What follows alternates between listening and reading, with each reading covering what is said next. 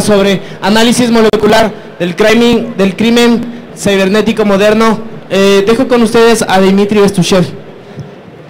Muchas gracias por estar aquí. Vamos a hablar de crimen cibernético, pero antes mi nombre es Dmitry Bistushev. Yo trabajo como el director del equipo de análisis e investigación global para América Latina en la compañía Kaspersky Lab. Ustedes no van a ver nada de Kaspersky en, este, en esta presentación. El tema es el análisis molecular. ¿Por qué molecular? Porque vamos a hablar en detalle de cómo está funcionando en este momento el crimen cibernético que opera realmente sin conocer fronteras, ni lenguajes, ni culturas, ni leyes. Para los que están interesados, este es mi Twitter, pueden luego hacerme preguntas a través de él o cuando necesiten simplemente contactarme para cualquier información. Bien, y este es el hashtag. Ustedes lo sabrán ya, ¿no? CPQuito2.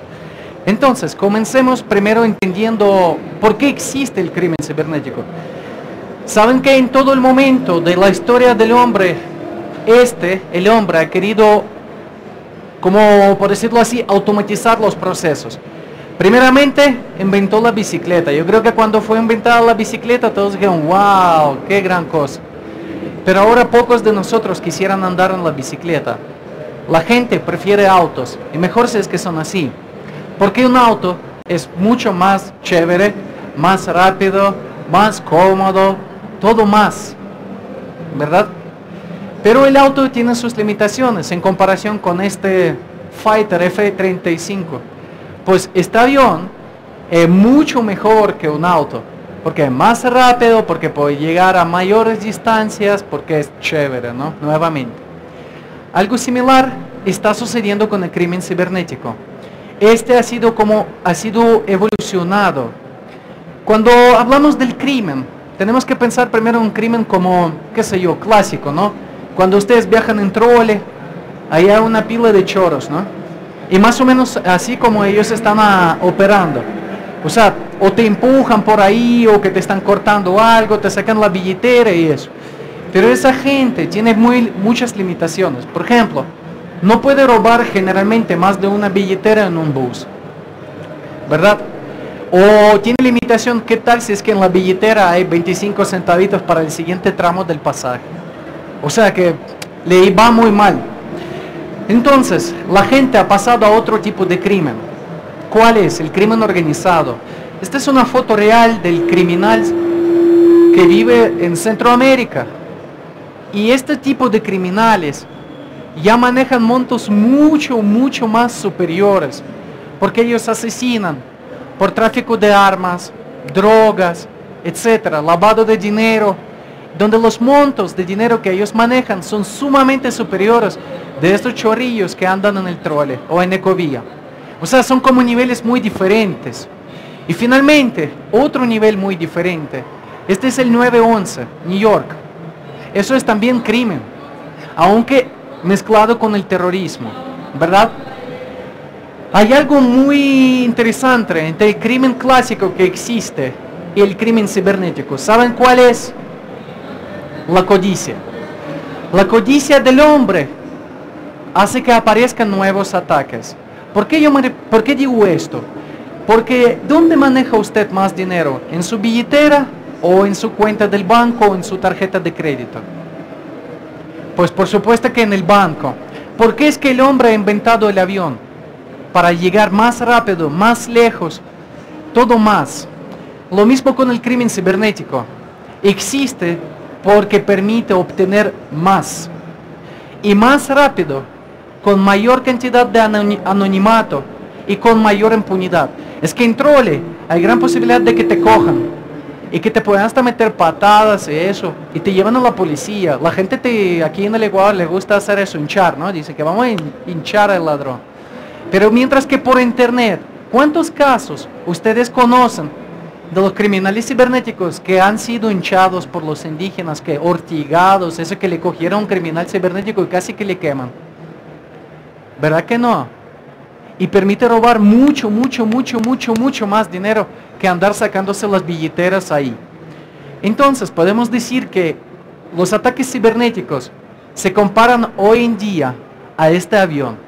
Porque malware es una herramienta que permite llegar instantáneamente a cualquier punto del mundo, a cualquier computadora, a cualquier persona de cualquier idioma.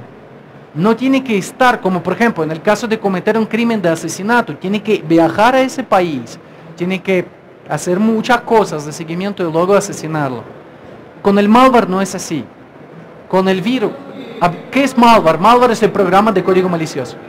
El malware puede atacar a cualquier persona residente en cualquier país, en cualquier zona horaria, que hable cualquier idioma, sin visas, sin barreras, sin nada. Y a la vez permite tener altísimo nivel de impunidad, de ser anónimo y de obtener mayores ingresos. Entonces, ¿cómo funciona el malware moderno? He preparado dos videos para ustedes, reales, que yo he grabado en mi computadora. Vamos a comenzar con las técnicas de infección y luego veremos robos de información. Este es el primer video. Usted seguramente recibe muchas veces en su correo mensajes como este, que usted, un postalito electrónico que le haya enviado un amigo, una entrega a través del UPS, una, qué sé yo, un DHL, o que alguien le haya mandado algún pasaje, lo que quiera. Resulta que si es que usted da clic, yo lo voy a dar aquí, en una máquina basada en Windows XP, comienza algo inesperado. Básicamente pueden ver que se está comenzando a activar la tarjeta de red y también está comenzando a suceder eh, mucha actividad a nivel del disco duro. Pueden ver que aquí, aquí, se está descargando 15 kilobytes de 16. Ojo, que yo no, no, no me ha aparecido ninguna ventana de que quiere o no aceptar un archivo. Yo solamente di clic en un enlace en un correo electrónico, nada más. Con esto, ya en mi sistema, el virus se ha instalado. A mí no me ha aparecido nuevamente ninguna ventana de que mira que tú quieres realmente guardar el archivo, ejecutarlo, etcétera, etcétera. Si yo reviso ahora mi sistema, tengo una llave en el registro que al explorar me lleva a la ubicación de Application Data y que está disfrazado de una actualización propia de Windows XP. Vamos a ahora a revisar este archivo que es. Para esto, lo voy a enviar primero al, al virus total. Es un servicio que cuenta con más de 40 antivirus. Y vamos a ver el resultado del escaneo de este archivito.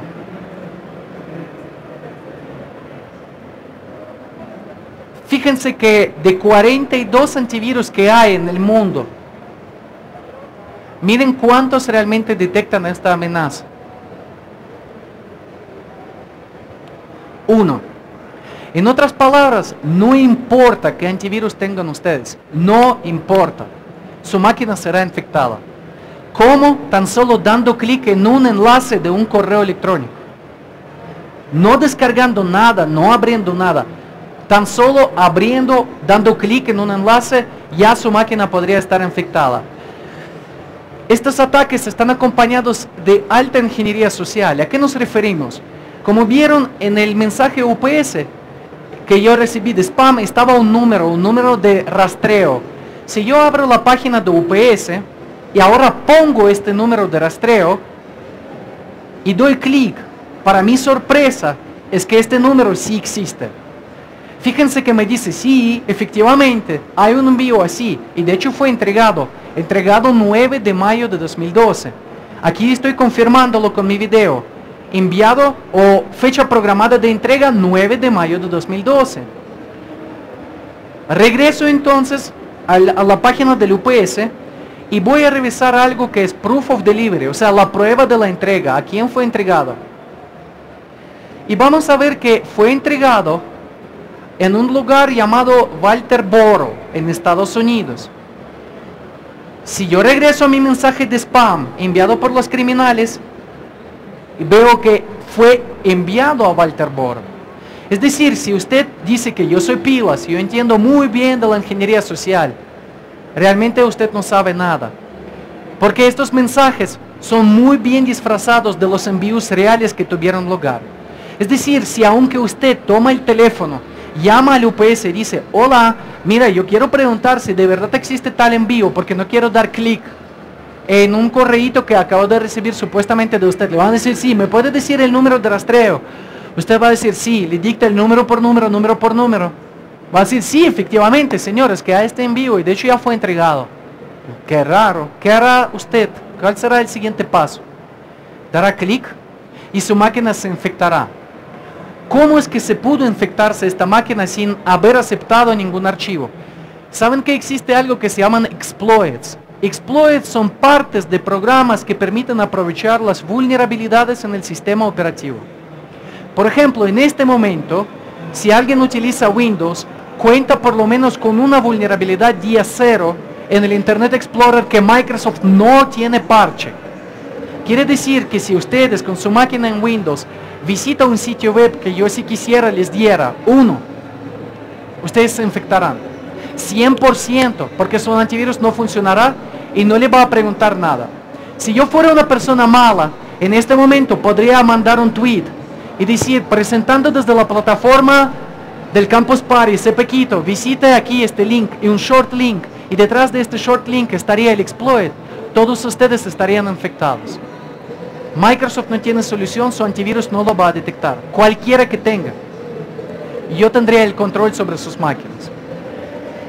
Ahora, ¿cómo roban los virus la información? Porque se nos instaló un virus. Aquí se lo estoy mostrando. Voy a desempaquetar una muestra. Este es un virus real. Voy a ejecutarlo.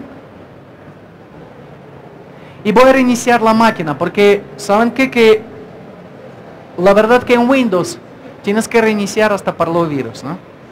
Es un sistema tan bien hecho que todo es con reinicio. Entonces todo tiene que ser así. vamos a reiniciarlo. Pues esto es una máquina virtual, obviamente. Ahora se prende y haré dos cosas. Vamos a romper dos mitos. Yo cuando escucho sugerencias de los pseudo expertos de seguridad, muchas veces me río. Y ustedes se van a reír también. Pues vamos, mi máquina está infectada. Voy a abrir Opera. Voy a abrir Twitter, mi cuentita de Twitter. Voy a Twitter y digo, no, mira, yo soy una persona segura. Le voy a poner HTTPS. Es que así todos los capos de la seguridad manejan las cosas. Y me dice, ya, conexión segurísima, todo está encriptado, todo está Pongo cuenta para el test y la contraseña. Es la cuenta que yo acabo de crear para, para esta pruebita, ¿no? Ya ingresé y dice cuenta para el test, cuenta temporal para la presentación del Campus Party en Quito. Esta es la fotito que yo me puse.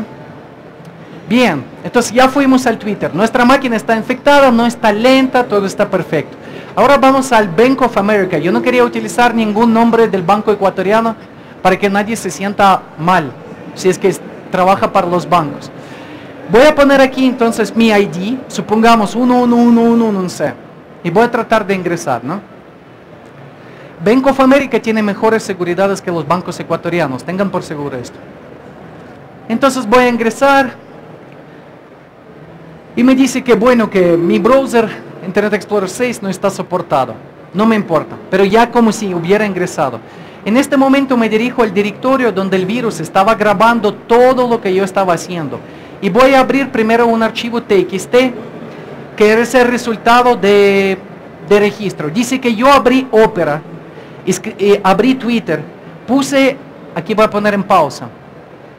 Si pueden ver que creo que está un poquito cortada aquí la parte, pero básicamente dice, el usuario es cuenta para el test.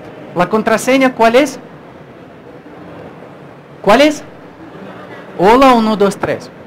Entonces, cuando escuchan en la radio, en la televisión o donde quiera, o de los propios bancos, que les diga, siempre revise que la conexión sea HTTPS.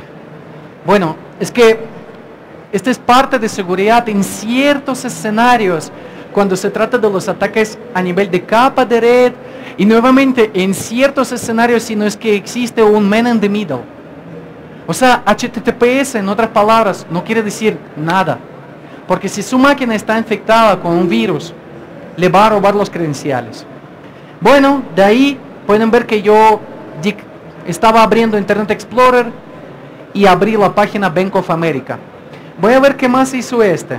Fíjense que tengo screenshots, o sea, como copias de pantalla, en los cuales yo abrí aquí mi Bank of America. Él hasta me muestra que, qué estado escogí, Mississippi. Ahí está 111, está todo registrado, sign in todo. Es decir, el malware moderno es capaz de robar tanto de lo que tecleamos nosotros, como también haciendo copias de pantalla. Entonces, cuando un banco le dice que tenemos un tecladito virtual o tenemos unas preguntitas de desafío, o sea, es tan chistoso como si un criminal estuviera así al lado de usted mirando todo lo que usted hace. Porque cuando usted escoge un peluche, un oso, panda, pues es que él va a grabar al oso panda, que ustedes cogieron al osito panda, y lo va a enviar al criminal. El criminal cibernético no tiene que por qué preocuparse, él tiene todas las imágenes. Entonces dice, oso, oso, clica ahí, clica ahí, 1, 2, 3, 1, 2, 3. Y este, recuerden, yo lo he comparado el malware con ese avión de combate F-35, súper poderoso. Porque hay ataques de phishing, hay ataques de skimmers en el ATM, todo eso es de niños, estos son pañales. Porque los grandes robos, grandes ataques a nivel gubernamental, a nivel estatal, a nivel de las industrias, se da a través de los virus informáticos. Entonces, cuando les dicen, para estar seguro, revisa que tenga SSL, revisa que tenga Certification. ¿Saben que yo, mi respuesta es eh, que no, eso no va a ayudar para nada, para nada, para nada, para nada. ¿Cómo está organizado el crimen cibernético? ¿Quién está detrás de programar estas cosas? De, ¿A dónde va el dinero? Porque si hablamos del dinero, decimos crimen cibernético. Crimen relacionado con el dinero, pero ¿dónde está? ¿Quién lo coge? ¿A dónde se va? ¿En qué volúmenes? Vamos a ver primero el, el cómo está organizado el crimen cibernético. Este es el ecosistema. Pueden ver que existen siete elementos. El primer elemento arriba izquierda es el desarrollador, es el tipo que desarrolla malware. Pero dice, yo no soy criminal, ojo. Yo simplemente programo virus, pero no sé si los usarán para bien o para mal, porque yo no infecto a nadie, yo lo vendo a otros criminales. Porque yo no, yo no soy criminal, yo soy un programador que da soporte a estos programas, pero que no necesariamente tienen que usarle para el mal. El segundo grupo, a eh, arriba eh, centro, estos son los criminales que compran estos programas de código malicioso y reciben soporte, tal como si usted trabaja para una empresa que desarrolla el software, lo vende a alguna compañía. Estos criminales de arriba centro son los que compran y reciben soporte. De repente, el virus no funciona, algo, simplemente le contacta por el correo electrónico o a través del chat y le dice, oye, es que no roba el dinero, o sea que, ah, no te preocupes, entonces vamos a hacer unos ajustes eso, y le da toda la asistencia. Finalmente, estos criminales atacan a las víctimas, aquí están. Las víctimas son aquellos que pierden sus credenciales a través de la banca en línea, tarjetas de crédito, etc. Luego, Sería muy fácil si es que el ecosistema sería de tres elementos. Pero los criminales cibernéticos que robaron el dinero, o mejor dicho, robaron accesos a la banca en línea, no pueden utilizar el dinero. Porque es muy fácil seguir la pista. Es como que tú puedes decir, ok, de aquí, ¿a dónde se fue el dinero? Dice a tal cuenta de Lucho Pérez. Sería muy fácil entonces para la policía ir y cogerlo a Lucho Pérez preso. Los criminales lo saben, por esto acuden a los distribuidores que están operando en el mercado negro. Pues estos distribuidores tienen tiendas en línea, tal como cuando usted va al Amazon y compra y dice, quiero una laptop, quiero un iPhone. Así es el mercado negro, lo vamos a ver más adelante. Quiero 10 cuentas de tarjetas de crédito Visa, quiero 5 cuentas de tal banco y eso. Este, este tipo aquí, pueden ver otros criminales, son los que compran estos bienes del mercado negro. Y finalmente tienen que utilizar a las mulas de lavado de dinero. Porque también si este tipo de aquí coge el dinero es que era preso. Las mulas son como los chivos expiatorios, los que se utiliza para decirle, oye, ¿quieres ganar un poquito de plata? Sí. ¿Quieres trabajar en casa sin salir a la calle? Sí te voy a mandar dinero a tu cuenta, tú te quedas con de 10 a 15% de ganancia y 85% lo mandas por Western Union a otras cuentitas. ¿Estás de acuerdo? No, como no, listo. Trato hecho. Y finalmente, séptimo elemento, garante o intermediador. Es muy chistoso que entre los propios criminales aparecieron aquellos que engañan a otros criminales. Por decirlo así, dicen, hey, mira, yo tengo mil tarjetas de crédito de los ecuatorianos. Dice, ah, ok, entonces hagamos trato. Sí. Resulta que el otro me paga y yo no le doy tarjetas robadas. Entonces para esto se han inventado como intermediarios o garantes que dicen, ok, ok, a ver señores, señores, ¿tú qué dices? ¿Tienes mil tarjetas? A ver, vamos. ¿Tú tienes entonces mil dólares? Sí, a ver, sí, ok, trato hecho, pueden negociar, se queda con el porcentaje. Este es cómo funciona el crimen cibernético moderno. Pero veámoslo en detalle. Hablemos primero de los desarrolladores de malware. ¿Quiénes son? Fíjense, este ejemplo es real. Les voy a mostrar fotos. Yo, yo no sabía cuántas fotos poner hoy. Pensaba poner más, pero... Perdón. Pero es que va a ser muy largo. Entonces, vamos a comenzar con un panel llamado VertexNet. Fíjense que este es un screenshot real, esto es, como un sistema de gestión de las computadoras infectadas en el mundo. Tal como ustedes como administradores quizás tienen sistemas de gestión, el criminal tiene toda la gestión de la máquina infectada. Y aquí aparecen las máquinas infectadas de Alemania, Estados Unidos, China, y etcétera, con sus nombres hasta. Fíjense que países, ah, no, no fue China, marroquí, ¿no? Este es de país árabe, marroquí. El nombre de la computadora, Sweet Coca Baby o algo así, ¿no? Entonces, ¿quién está detrás de este Vertex? Ah, o primero veamos qué funcionalidades tiene este panel de control. Fíjense, pueden ejecutar comandos, es decir, remotamente el criminal puede ejecutar cualquier comando en la máquina de la víctima puede terminar como puede cargar archivos, puede recibir toda la lista de procesos, desinstalar programas, puede generar ataques de denegación de servicio. De hecho, los mismos son utilizados por anónimos. Cuando atacan a alguien, este tipo de ataques se utiliza justamente de, las máquinas comprometidas. ¿no? Y así por el estilo, o puede utilizar la máquina de la víctima para ir a cierto sitio web. Tiene todo el control, en otras palabras. Pero fíjense que este tipo que programó este VertexNet puso como una historia, dice, de qué es lo que él puede hacer y no puede hacer, ¿no? Y dice, last thing, please guys, don't use this software for bad reasons. Por favor chicos, no utilicen este software para razones malas, ¿no? Que, o sea, él como que se libre de la responsabilidad. En otra palabra, yo programa yo programo algo que es malicioso, pero que no me responsabilizo si tú lo usas para bien o para mal. Por esto no soy criminal. Este tipo se llama Jean-Pierre Lucier, algo así en francés. Utilicé eh, Google, Translator, le puse Jean-Pierre y claro, lo pronuncio como Jean-Pierre Lucier, algo así, ¿no? Hablando a Jean-Pierre, recuerden que el tipo que diseñó este panel que maneja es básicamente el gestor de las botnets que Jean-Pierre es un CEO, o sea, director de la compañía, fíjense que una compañía de aviación.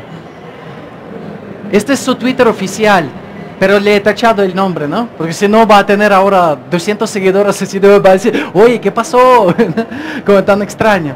Y fíjense que su perfil, Several Language Coder, o sea, programador de, diferentes lenguajes, que programa para Windows, en C++, eh, Delphi, bla, bla, bla, bla, bla, bla darkcoders.gmail.com. Si quieren, escríbanle, pero recomiendo que no le escriban. La policía de Francia está detrás de él, pero simplemente él conoce muy bien la ley y la está utilizando como que para decir, lo que yo programo es para fines académicos. Y yo no puedo garantizar que es que esa otra gente hará, pero sabemos que es criminal. Vamos a hablar de otro criminal que está detrás del malware llamado SpyEye SpyEye es el troyano bancario más temible que existe en este momento, que es capaz de atacar bancos de cualquier país del mundo y que ha atacado bancos de Panamá, Costa Rica y otros países de Latinoamérica. Es así como se ve eh, el panel de SpyEye. Y fíjense que hasta el slogan que tiene, hack the planet, hackea el planeta, toma tu dinero. Dice internet más tarjetas de crédito igual plata. Y ahí tiene todo, todos los plugins y todo. Entonces, ¿quién es este tipo? he llegado a tener la posibilidad de conversar con él. Primeramente su nickname o alias es Gribo Demon, demonio de hongos, se traduciendo de ruso, o sea, demonio de droga de hongos. Bueno, entonces la pregunta para el tipo, oye, como que a ti no te mole- molesta la conciencia robar el dinero a la gente. Él dice, a mí me da igual. Carders, o sea, las personas que roban las tarjetas de crédito, roban no a la gente, sino a los bancos. Y los bancos devuelven el dinero a la gente. Así que no hay problema, dice. O sea, mi conciencia está muy tranquila. Pregunta 2. ¿Tú nunca quisieras utilizar tus conocimientos para trabajar para el lado blanco? El tipo dice, "Mm, necesitaría 50 KK. ¿Saben lo que es eso? KK. Una K, tres ceros. Dos K, otros tres ceros. Quiere decir que él quiere ganar al año 50 millones de dólares. Por lo que dice, nadie le puede pagar 50 millones de dólares al año. Entonces él no quiere ser del lado bueno. ¿Tú vendes algo más aparte de Spy? Dice, no, yo solamente vendo Spy, es decir, es súper profesional, ¿no? Finalmente, eh, ¿por- ¿tú nunca has pensado sobre un trabajo normal? Él dice, es que con el Spy yo no necesito un trabajo normal. Y finalmente la última pregunta, ¿y qué educación tienes? Él dice, bueno, terminé la escuela, le puso F College, ¿no? O sea, como que, "Nah, esa escuela. Luego yo iba a ir a la universidad y me convertí en un black hat. Quiere decir que no fue a la universidad. Pues con todo respeto realmente a todas las universidades del mundo, yo les digo que para ser un experto no necesitas la universidad. La universidad lo que te enseña a veces es estudiar, pero no te enseña a ser mejor persona, no te enseña a ser mejor ciudadano, no te enseña a ser realmente experto. Nuevamente con todo respeto a cualquier persona que piense lo contrario. Esta es mi opinión personal. Y pues el tipo piensa igual. Fíjense en eso, ¿no? Pero ¿qué podemos decir ahora de América Latina? Vamos a ver el talento nacional. Comencemos con este video. Este es video real.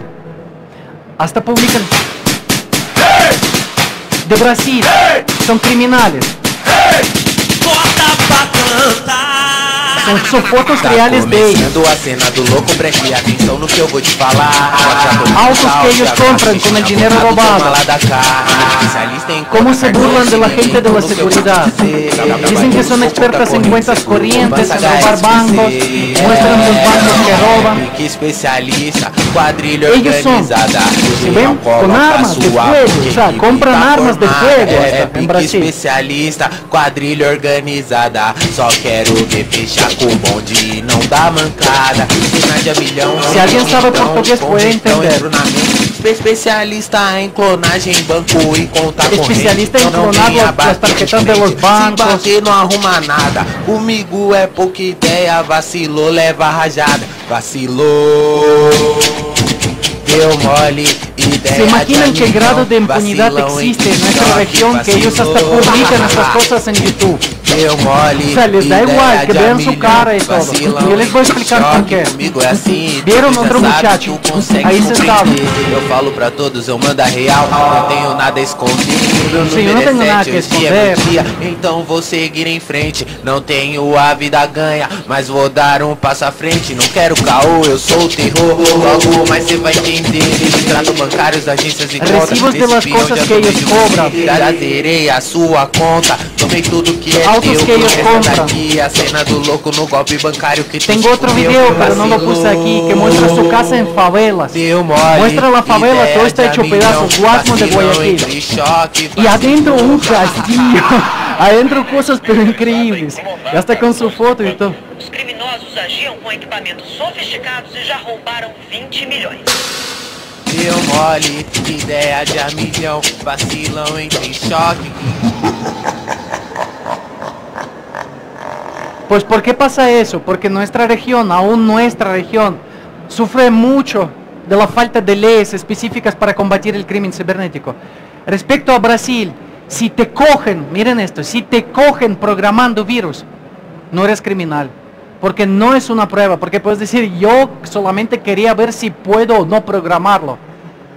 pero yo no lo iba a usar para infectar a nadie. Segunda ley, si te cogen robando ya las cosas, o sea, ya saben que tú robaste todo eso, pero es tu primer caso, o sea, primera detención, libre. O sea, tienes un chance. Siempre tienes una oportunidad gratis. O sea, de chiripa, pues vaya, hágalo, ¿no? ¿Qué les parece? Esta es su cuenta de Twitter, la pueden ver, aircfullnetworks.org, screenshot tomado esta mañana. Fíjense que en esta ellos están negociando tarjetas de crédito robadas. Ahí están los nombres de bancos, Banco de Brasil, etc. Y están en contacto estrecho con Anonymous. Anonymous de Brasil y Lulsec de Brasil. Uno de los tipos que está detrás es este. Pude captar su, su foto. Se llama Alexander Brasil de Abreu. Él es muy, muy, muy famoso Carder en Brasil. Vive en, la, en el sector El Dorado y a la vez miembro activo del LUSEC de Brasil. En el Código Penal de Brasil no está estipulado el crimen generar ataques de denegación de servicio. Es decir, si yo voy y tumbo la página de la presidenta de Brasil, yo no voy a la cárcel, porque no hay una descripción de que esto sea crimen. ¿Qué les parece? Bien, ahora recuerden que esa es la gente que está detrás, ¿verdad? Ya vimos algunas fotos, eso. ¿Cómo está hecho el mercado negro? Yo les conté que era como un eBay. Veamos esto. ¿Qué es lo que te pueden robar primero? La respuesta es todo lo que tú tengas, todo tu bien digital. ¿A qué me refiero? Este es un login real. Así se ve la página de inicio a un mercado negro. Y fíjense qué lujo, un celular, un eh, auto Lamborghini, o sea, todo de lujo. Este es el estilo que promueven los criminales cibernéticos de cómo te irá en la vida si es que tú te haces del lado de ellos. Esta es la página real, no es ningún diseño. ¿Cómo está el mercado negro? Así mismo, tú vas y dices tarjetas Visa. ¿Cuál es el BIN? Eh, cuando expira, nombre de la persona, país, etcétera, etcétera. ¿Cuánto cuesta una tarjeta de crédito robada de, de Estados Unidos? 4 dólares. Y de Brasil, 12. El precio depende del país de donde tú vengas. Porque mayor penetración de Internet y mayor nivel de gente económico, entonces es más fácil robarle las tarjetas de crédito. Pero si hablamos de los países, que sé yo, Zimbabue, tal vez la tarjeta de Zimbabue va a costar unos 30 dólares. De América Latina, la tarjeta de crédito más cara es de Argentina, más o menos 36 dólares. El precio promedio, incluyendo las tarjetas de crédito del Ecuador, 12 dólares. Así que si tienen tarjeta de crédito, esta cuesta 12 dólares en el mercado negro. En este mismo mercado uno entra y hace una selección, dice, ¿qué país necesitas? Dice, Ecuador, está, toma. ¿Qué más pueden robar? Accesos a PayPal, pueden ver. Estos son los correos de las víctimas, ¿no? 5 dólares cuesta el, acceso a PayPal. ¿Qué más? Google Más, o sea, Google Plus, no sé cómo llamarlo. Ustedes tienen estas cuentitas en Google, ¿verdad? Red social de Google pues que también tienen precio. Por ejemplo, 50 cuentas de Google cuestan 12 dólares. Twitter, igual, 100 cuentas de Twitter, 7 dólares. ¿Y saben por qué esto cuesta? Porque primero, a través de las redes sociales, tú puedes infectar a la gente con un alto nivel del condimento de la ingeniería social. Tú puedes saber de sus víctimas quiénes son, qué intereses tienen y lanzarles aquel ataque que tú quieras. Es decir, hacer una especie de ataques dirigidos. Más, si tú tienes un gran poder de las cuentas de Twitter, tú puedes influenciar en la opinión de la gente. Imagínense que viene la campaña electoral, elecciones presidenciales, y yo en mi poder tengo 500 mil cuentas de Twitter de los ecuatorianos, y yo estoy en contra o a favor del presidente. ¿Qué es lo que yo podría hacer?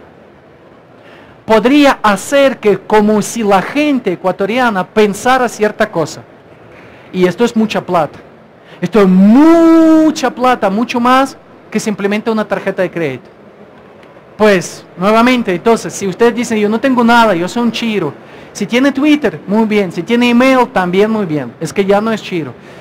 Pero existen mayores peligros que estos. Tus datos personales pueden ir al mercado negro.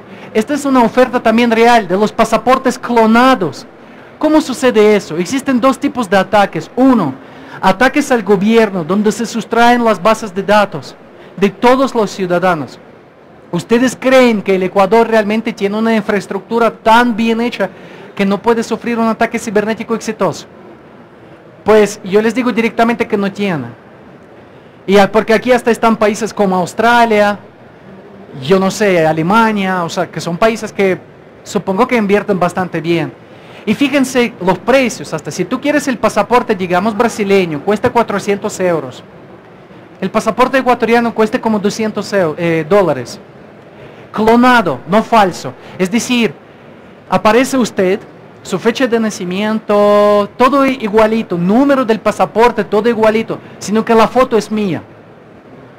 Eso se llama clonación. Porque si en la frontera alguien va a revisar esto, el policía, cuando ustedes viajan por la migración, él no tiene foto en la pantalla, se han notado, él no tiene la foto de usted.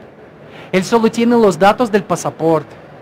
Pues Estados Unidos por eso tiene camaritas de cara. Recuerden cuando llegan a la migración te dice, mira, ponga la manito aquí, la manito aquí, la cámara, porque ellos también identifican si son tus huellitas, es tu cara, que la que coincide con la cara en su base de datos.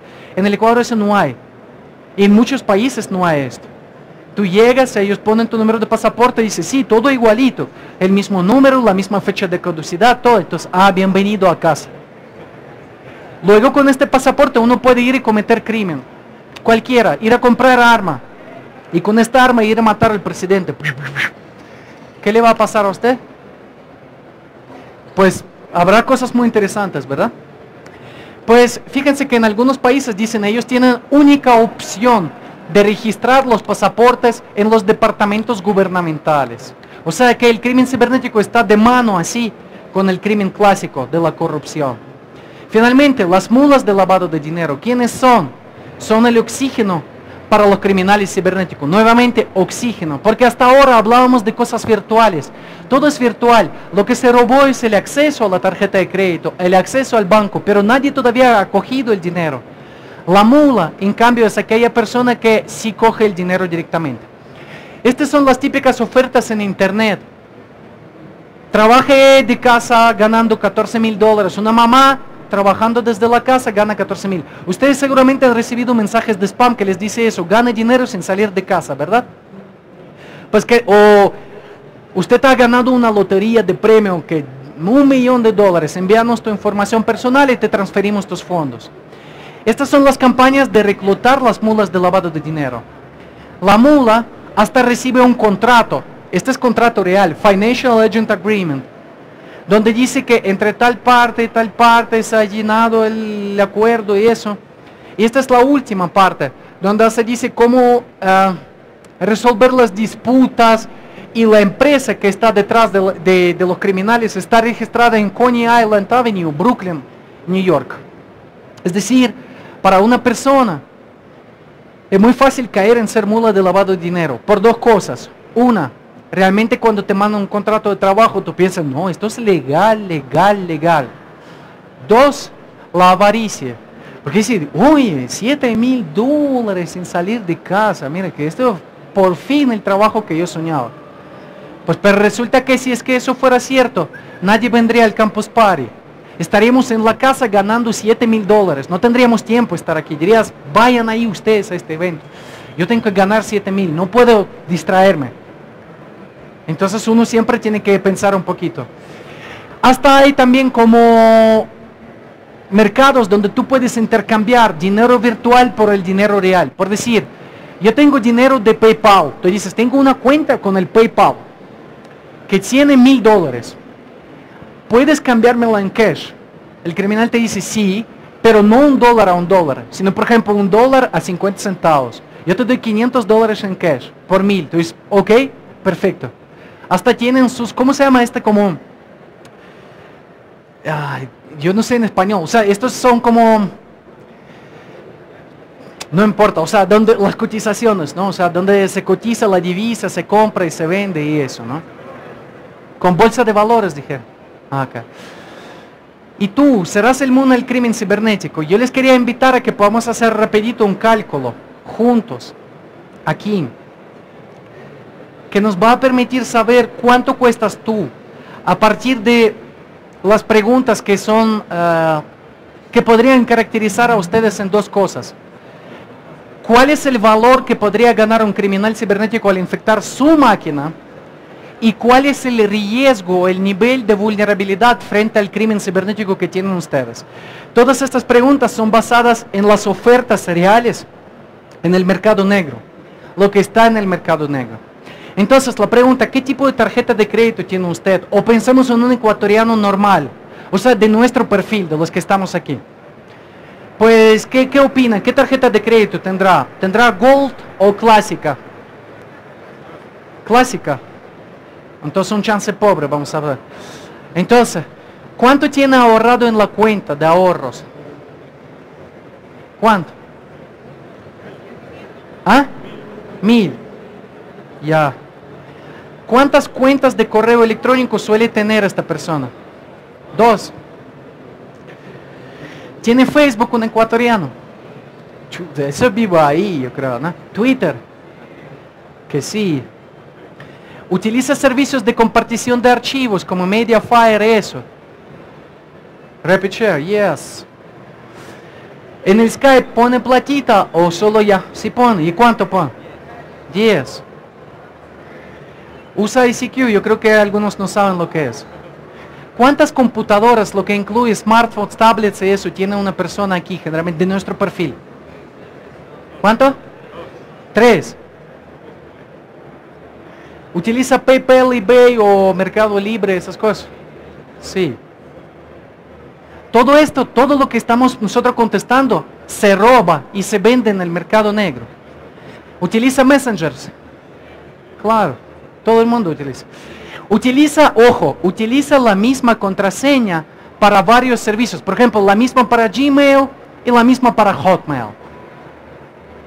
Pero, pues, sin, sin mentir, a ver, a ver. Que sí, pues, o sea, tienen que ser un gran experto ¿ah? para hacer eso. ¿Sí o no? No. Bueno, sí.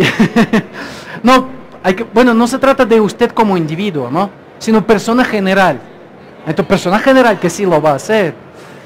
Y finalmente, instala todas las actualizaciones a todo el software instalado en su máquina. No, ¿qué va a hacer? Que le sale, mira, una actualización de Java, 150 megas. ¿Qué le dice? Remind me later. Recordarme después. ¿Verdad? Entonces yo digo que no. Vamos a ver cuánto ganaría entonces un criminal. 785 dólares en tan solo infectar su máquina. Ganaría el primero que infectó. No quiere decir que usted perdería 785, perdería todo. Si tenía 10 mil en la cuenta lo perdería. Sino que esto es lo que ganó el primerito. O sea, el que compró el virus infectó su máquina. Él. De ahí ganan todos. Gana el almacén que vendió, el que compró, la mula 15%. O sea, el dinero fue así distribuido. ¿Qué les parece? Si cada uno de ustedes ahora me diera 785 dólares, yo me iría feliz a la casa. Pues, ¿por qué se lo digo esto? Porque los criminales cibernéticos tienen una gran, gran motivación. Pues dinero, de estos montos. Infectar a la gente es así, fácil. Ustedes lo vieron. Probabilidad de infección 100%. ¿Cuál es la tasa de infección en el Ecuador? Aproximadamente 40% de las máquinas. De ahí todo es muy fácil. Entran en Internet World Stats, ven la tasa de penetración de Internet en el Ecuador, multiplique esta tasa por 13 millones. Van a recibir entonces la cantidad de usuarios que están conectados a Internet. La cantidad de usuarios conectados a Internet multiplique por 30%. Le va a dar cantidad de gente infectada. Y luego multiplique por 785 dólares. Y se les va a parar el pelo. Porque va a haber un monto que ustedes y yo nunca lo ganaremos en toda la vida. Pero ellos lo ganan en un año. Entonces, ¿debemos esperar crimen cibernético? Adelante. Sí, por supuesto que sí. ¿Podremos vencerlo? ¿Qué opinan? Yo les digo que no. Jamás, jamás el crimen cibernético será vencido. Jamás. Por la propia avaricia de la gente. Sería muy fácil. ¿Saben cómo? Si no hubiera mulas de lavado de dinero, los criminales no podrían sacar el dinero. Es decir, que ellos programan 10 millones de virus al día. Eso no importa. Porque alguien tiene que atreverse a recibir el dinero en su cuenta. Si no hubiera mulas, no habría robo. pero mulas hay por la desesperación de la gente y por la avaricia. Por estas dos cosas. Se puede hacer que la gente no sea, no tenga avaricia. Se puede cambiarla. No se la puede cambiar. Entonces, en esa nota no tan positiva, pero muy realista, yo les quería agradecer por escuchar esta charla. No me dio tiempo porque había muchos cortes y eso, porque yo quería mostrarles algo más. Cómo los criminales cibernéticos se ocultan utilizando Deep Web. Si alguien lo ha escuchado, Deep Web. Una cosa súper, súper interesante. Yo estoy investigando. Yo les quería mostrar hasta cómo dispensan droga. Pero así se no... O sea, como dice, una balanza droga, a ver cuánto quieres. O sea, así. Asesinos profesionales por 10 mil dólares pueden venir de cualquier país y matar aquí gente que sirve en el ejército americano. Puede por 10 mil dólares venir al Ecuador y eliminar a quien sea. Todo eso está en la Deep Web. Si nos da mañana el tiempo, después de mi presentación, la segunda, yo les voy a mostrar esto. Si no, tal vez simplemente así hablando afuera podemos conversarlo. Este es mi Twitter. Y bueno, quería mencionarles que en el, crimen, en el, en el escenario de ataques en Internet hay tres jugadores. Primero, criminales cibernéticos de los que acabamos de hablar. Segundo, los hacktivistas, de los que no vamos a hablar. Y tercero, los propios gobiernos. Gobiernos que atacan a sus ciudadanos, a los ciudadanos de otro país y a otros gobiernos. Y mañana es donde vamos a hablar de esto. Van a ver cosas, ya no, no de que tarjetitas de crédito, sino que explote una central hidroeléctrica Coca-Cola y, mata a la gente. La gente tendrá harta piscina para nadar en alrededor, porque cuando se levante esa, ¿cómo se llama? Esta represa, que es que habrá mucha agüita para nadar. Pues de eso hablaremos mañana. Muchas gracias. Ahora quería regalarles cinco, cinco licencias a base de simples cinco preguntas y quien primero contesta. La pregunta número 5, la pregunta número 1, no relacionada con el contenido. Me refiero, no está relacionada con el crimen cibernético. Es, ¿qué avión, qué modelo de avión estaba en, en la imagen que yo mostré? Ahí, por favor. Sí, por favor, ahí. F-35. Yo no sé por qué lo quise hacer, es simplemente para los que estaban atentos. Felicitaciones. La pregunta número 2. ¿Cuál es el promedio de la tarjeta de crédito latinoamericana robada y vendida ahí? Por favor. ¿Cuánto? Sí, felicitación. Aquí hay que ser también muy rápido, ¿no? O sea, porque son preguntas facilitas, ¿no? ¿Cuánto cuesta una cuenta de PayPal en el mercado negro? Ahí fue primero. No, perdón. ¿Usted? Mira, todos gritan ya. Sí, usted. Por favor, venga. O bueno, aquí así. Ah, que sí le pasa, ¿no? sí, muchas gracias. Pues yo tengo dos, pero igual, si alguien no, no, no logra ganar esto, de alguna manera lo manejamos luego. Pues, ¿qué más preguntar? ¿Cómo se llamaba este panel hecho por Jean-Pierre? Ahí, ahí atrás.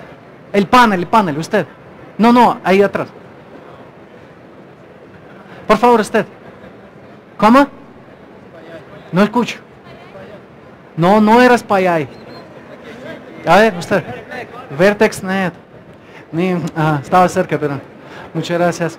Y la, finalmente la pregunta número uno, ¿cuánto cuesta o cuál es el valor promedio de un ecuatoriano al ser infectado? Ahí usted. ¿Cómo? 785. ¿Cuánto me dijo? Sí, sí, exactamente, 785. Pero no se preocupen, yo con mucho gusto luego también voy a conseguir licencia. Ahí para, para usted. Entonces, muchas gracias por atender esta charla. Muchas gracias. Pero yo, yo, sí, con mucho gusto. Y gracias por escuchar esta charla.